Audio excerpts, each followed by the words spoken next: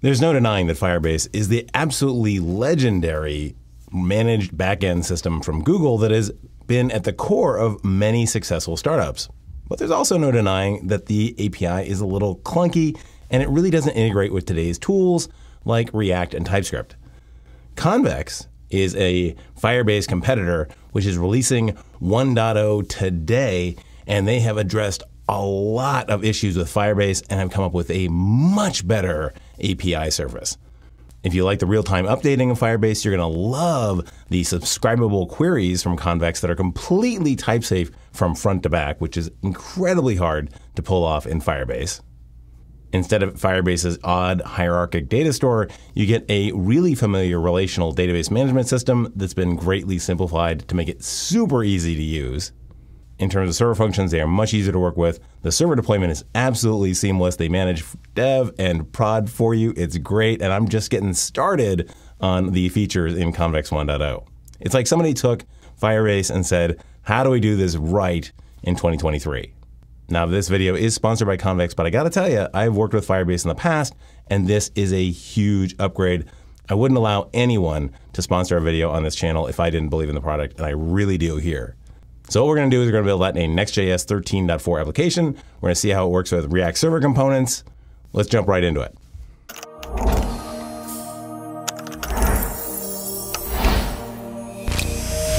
Here's the application we're going to build. This is actually hosted on Vercel right now. So this is a product outfit builder application. It's got two routes. It's got a create route over here where you can select a bunch of products and then you can simply name your outfit and then hit add outfit and then over on the main site, you see the new awesome outfit. It's a simple e-commerce demo that shows the core functionality that we're looking for from a managed backend service like Convex. So how's this done? Well, let's bring up Convex. This is the Convex homepage. From here, we're going to sign in. Once you're there, you get to the dashboard. It shows you at the top how much of the resources of the free plan we're already using. In this case, I've been working with this for weeks, and we really haven't even scratched the surface of the free offering. So it's got a very generous free plan. Let's jump into the instance that you're seeing on Vercel.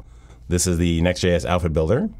It's got the server functions, the data that we're looking at here. This is the list of outfits, and then all of the products and their associated images.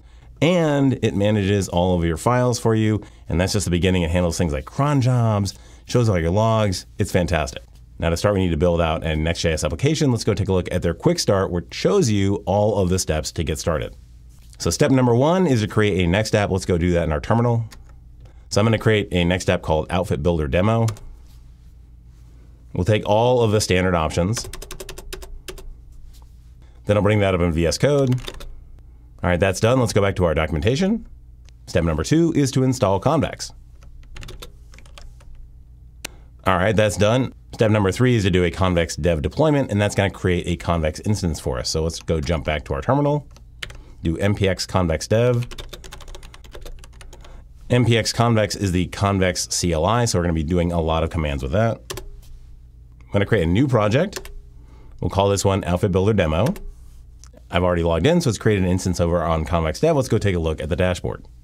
Here's my dashboard. I'm currently on NJS Outfit Builder. Let's go change over to the Outfit Builder demo that was created automatically for us. Now it's currently in prod. Let's go switch it over to development. And from here, we'll see our data and our functions and our files as they start to roll in. So the first thing we need to really do is to add some data to this. If we look back over at our application, on the left-hand side, we have an outfit builder. So we need that list of products so that we can actually display them. So that's the first place we're going to get started. Thankfully, that's also what they were thinking in the quick start. They go and have us adding a to-do list. We're going to go and add a list of products. Now in the completed project code that's linked to in the description right down below, there's a file called products.jsonl, which is the seed data for our products table. Each product has a title, a price, and an image ID, which is currently empty. We'll seed that in just a bit. What we're going to do is we're going to use that convex CLI to seed that products table. So let's go back into our terminal and we'll create a new terminal. And from there, we go to our quick start where we see that we have npx convex import. So we're going to use that convex CLI to import those products into the products table. So we give the name of the table and then we give the file name that has the data. And there we go. Now we have the products, but we don't have those images. To get those, I've created a little seed script that you can use to upload the images that are stored in the project. I'm not going to bore you with that, so I'm just going to skip ahead to where I've seeded it and we have our products ready to go. All right, now we've got all the images and we've got all the files. If we go to the files, we can click download and actually see each one of the images. Super cool. It's great that they have that file storage capability built right in. So the next thing we need to do, if we take a look at our deployed application, is we need to build the structure of our Next.js application. We need to put the header at the top and have the two different pages. So let's go do that real quick. So over in our app, we're going to go to page. I'm to remove everything. And I'm just going to put in a big old div that says home route. Now we need to create a new route for the outfit builder. So I'm to create a new directory called create. And within that page.tsx, this one's going to have a big old piece of text that says create route. It's going to be a client component because we have state for the products that you select as well as the title of your outfit. All right, now to bind this all together, we need a header. So I'm to go over into layout and I'll bring in the link component from next. And then above the children, let's just go and add a header. And that'll have two links, a slash route for home, and then a slash create route for the outfit creator. Let's hit save, and let's run this thing and see how it goes. All right, looking pretty good. We've got our localhost 3000. We've got our outfit builder. If I hit create, we go to the create route, rocking. So the next thing we want to do is show some products in here. And that actually means going back to that quick start and going to the next item on there. So step number six is to expose a database query. Any query that you make against the database, you want a server function that's going to go do that. Let's go and just bring in first off this import, and then I'm going to go back over to our Visual Studio Code, go back into the convex directory, and in there I'm going to create a new file called products.ts. This is going to have any queries or mutations that are associated with products. You get to organize this however you want. I'm just going to have products. So we'll bring in that query. And then we need to export a function for our query. And we're going to wrap that in query. That's going to tell Convex that this is a query function. And then honestly, let's just return hello. Now if I hit save, I can go over to my dashboard, go to functions, and we can see we already have a product get. That's what npx convex dev is doing. It's synchronizing my local development with my development instance up on Convex. So let's hit product get, at the top, we get a per function dashboard. We get the invocations, errors, the time it takes for each one. We get a set of scheduled jobs if we want to do like a cron job thing. And we get the implementation, which is super cool. Now let's actually try and run it by hitting this run function. And we get hello. How cool is that? Now let's actually go take this all the way to the client and see what happens. Next thing we need to do is get ourselves a convex client provider. So I'm just going to copy this code directly. 100%. And then go over to my app, create a new folder for components. And then in there, I'm going to create the Convex client provider with the code that they've given us. Now, if you notice that next public convex URL, that actually comes from env.local. This was built when we did npx convex dev. It set up everything and it set up a connection to our site, which is under Elegant Nightingale 976, obviously randomly generated, but it's gone and created all that connection for us. Super easy to use. The next step is bringing that client context provider into our layout so that everyone has access to it. Let's go over here to layout. And all we need to do is wrap our app in it.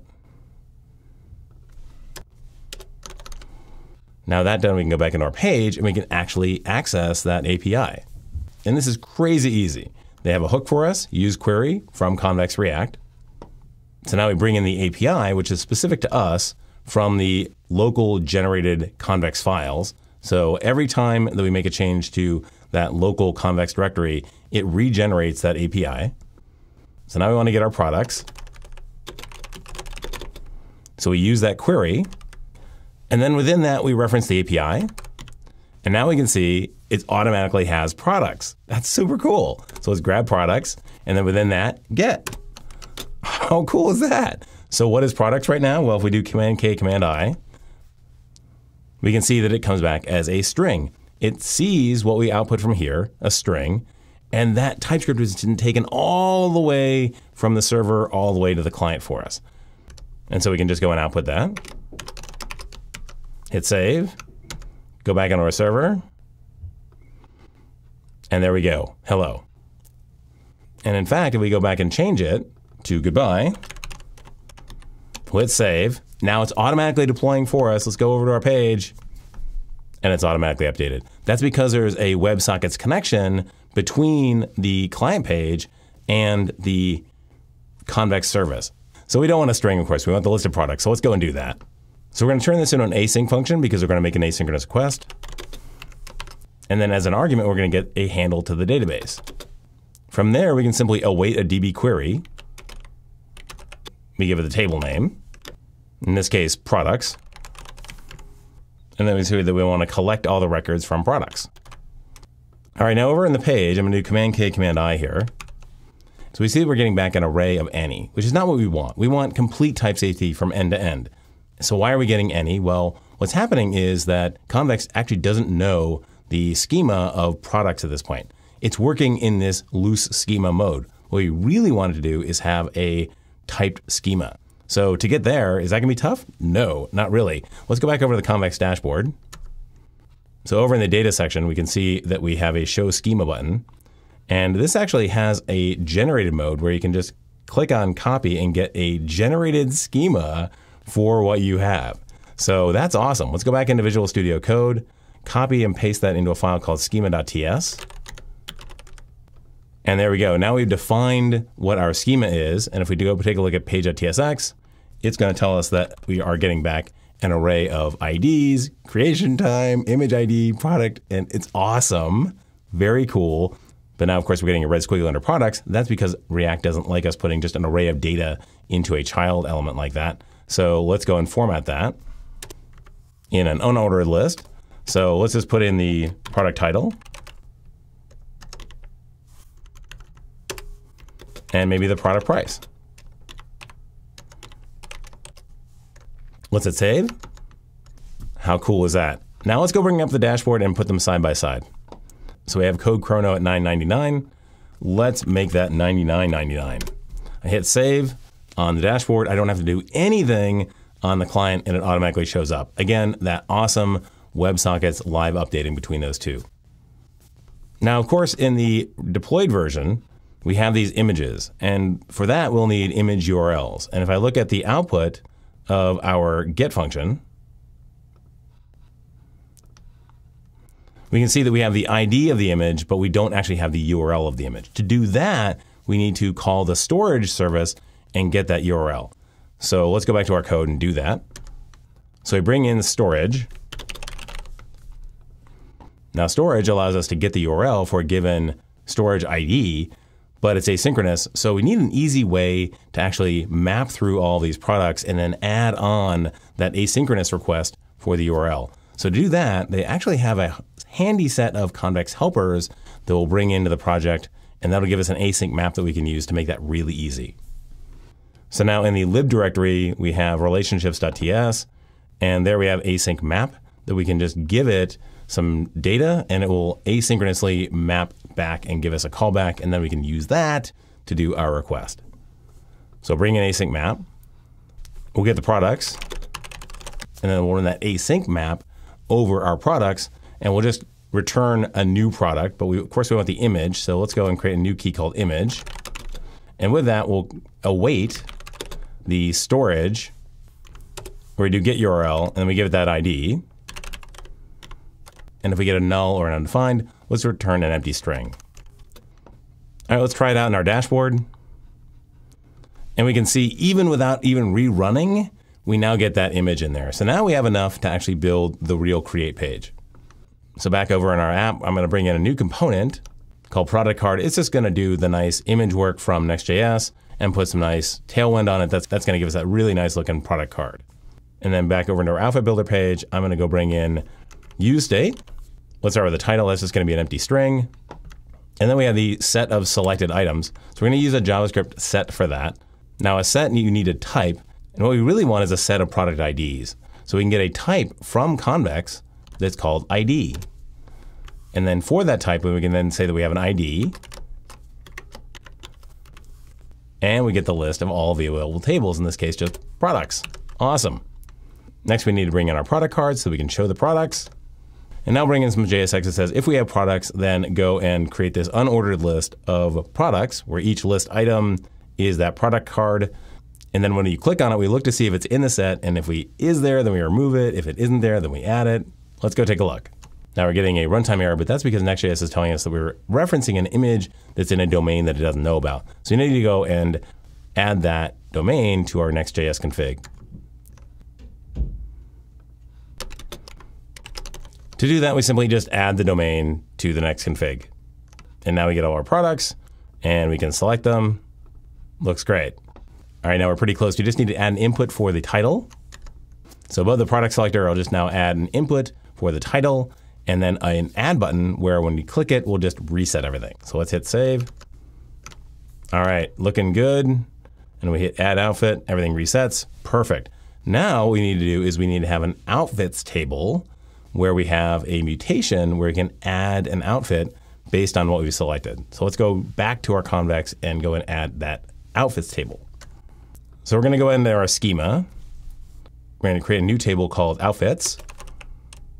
We're going to define that table. Now, of course, we're going to have a title.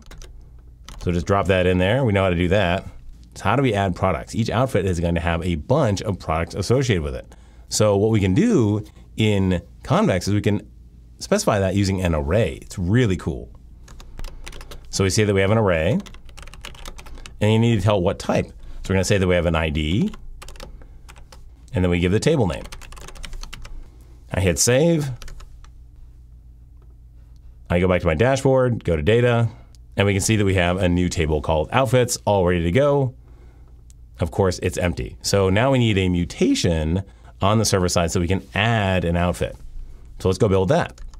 So under our convex folder, I'm going to create another file called outfits. And in this case, I'm going to bring in mutation from the generated server because we're going to be building a mutation. And we'll just specify one called add. So what do we need? Well, we need some arguments. We need to specify those. And those are going to match what we have in the schema. So let's just bring in our schema. So we're going to need a title and products. So where do we get that V? Well, we get that V from convex values. Now you specify a handler. So what's going to handle the request?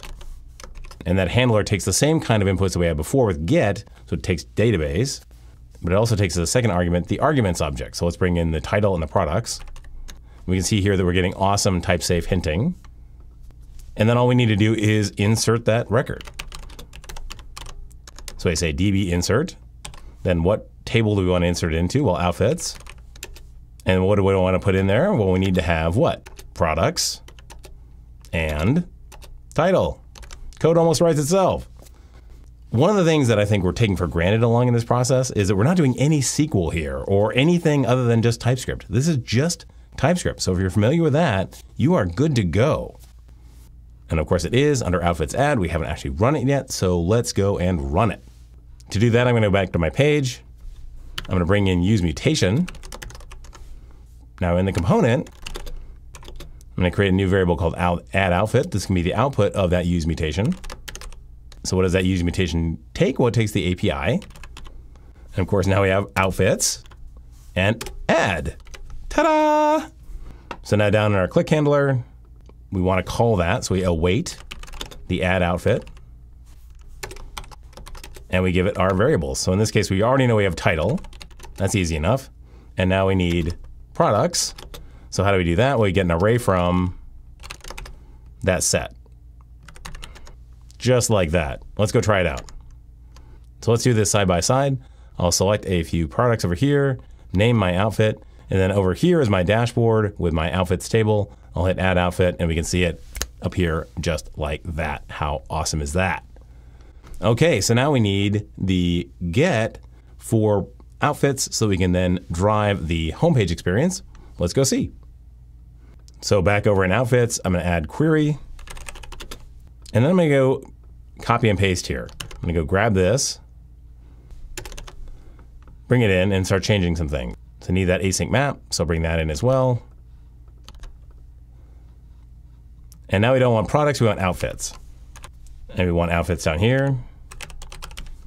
This is going to be an outfit. Now, this section is going to be a bit more complicated because we need to go and do the same kind of async map that we did with products here inside of our outfit. So now we have an array of products. How do we get all of them? Well, there's a handy function called getAll. You just give it the database and the list of IDs, and it'll give you all of the objects. Now, the really cool thing about Convex when it comes to IDs is that they are globally unique across all of the tables. So if you, if you have an ID, you just ask for that ID, and no matter where it is in whatever table, it's going to go get it for you. So that's how get all works. And now we want to return a new outfit where we have the original outfit, but we go through each one of those products with those IDs, and then we get the image from before. So we have that same storage lookup that we did before, where you get the URL, and should be good. So let's hit save. We'll go back over to our functions. We'll go into outfits, which is now a folder, and do get, run the function, and we can see that we have a list of all the outfits, in this case just one, where we have the products associated with each outfit. I think we're good to go. Let's go build our homepage experience. So currently the home route is an RSC or React Server component, which means that it's run exclusively on the server. Now, I do want to get to where we I show you that, but I want to start with what we know already. So I'm going to turn this back into a client component. And then I'm going to bring in some stuff from page. So I'm going to bring in use query. I'm going to bring in our API. And then just like we did before with products, I'm going to bring in that use query over here. But I don't want to get products. I want to get outfits, right? So I just hit spacebar, outfits, dot get.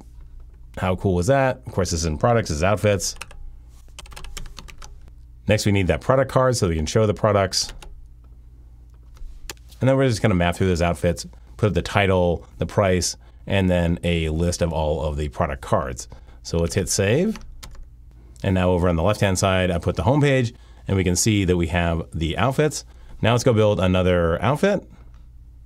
Hit add outfit, and we can see it live updates. How cool is that? We can see that the older outfit, awesome outfit, is coming in first, and my outfit two is coming in second. I want that reversed. So let's go and see how we do database style ordering in Convex. So all I need to do is just say order, and then say ascending or descending. So we'll say descending. Hit save, and there we go. Outfit 2 comes first. How cool is that? Anything you want to do in terms of filtering and sorting, you can do in Convex, not a problem. Okay, so now we've got the client version of the homepage. How do we do it as a React Server component and what trade-offs are we going to take? Well, let's go and see how hard it is to turn this back into a React Server component. So first thing I'm going to do is get rid of the use client as well as the use query. So what are we going to do instead? Well, we're going to bring in the HTTP client. That's a client that you can use instead of the WebSocket client. So this will just make HTTP request instead of WebSocket request. So in order to use it, we need to initialize it. So we create a new convex client given that next public convex URL, which was set in our env.local when we did npx convex dev. So now we just have to replace that use query. What do we do instead? Well, let's turn this into an async function and let's await a convex query and then again, we get that awesome hinting. So API dot outfits dot get. Hit save. Hit refresh. And now we have a React server component. Awesome. Now let's go and add another outfit. Hit add outfit. Now let's go refresh. And we can see that we're not getting an update. Is that a convex problem? Well, let's go take a look at the dashboard and see. No, it's not a convex problem. We have the data in there, it is a problem with Next.js caching. So Next.js has done a really hard cache on that React server component. So what we need to do is say to Next.js that this component is dynamic.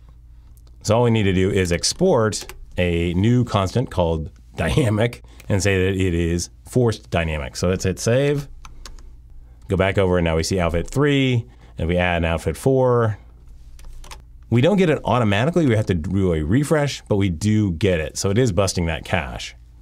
So there you go. There are some options for you when it comes to requesting data from Convex.